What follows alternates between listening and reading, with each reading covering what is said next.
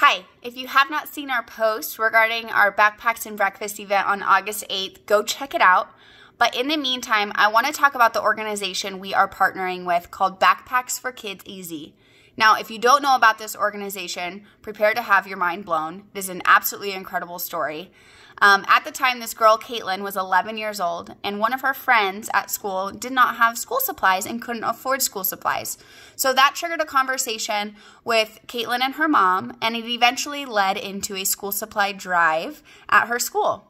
Fast forward, this little girl had so many ambitions and has um, and has created the organization called Backpacks for Kids AZ, and they have helped thousands and thousands of families and schools across the valley. And so they even have a really cool warehouse set up where the kids can come in and shop and pick out their school supplies and their backpacks and all of that. Now, with COVID, things are going to look a little bit different, of course, just because there's a bunch of limitations. However, they are still allowing kids to pick out their backpacks, which I don't know about you, but I just went backpack shopping for my five year old, and it was the most amazing life altering experience for him. It was the most it was the hardest decision and yet also the most rewarding when he was finally able to pick out which backpack he wanted. So that's something very very meaningful to them. And then also instead of them shopping for the school supplies, they're going to have little pre-made kits for each school age.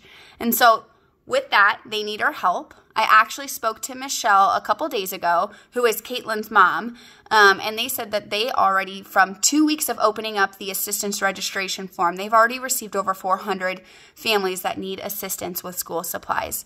So, and that's that's only two weeks, and so they need our help. So, of course, with COVID, we are unsure of what the school year is going to look like, and it's probably most likely going to look a little bit different than previous school years.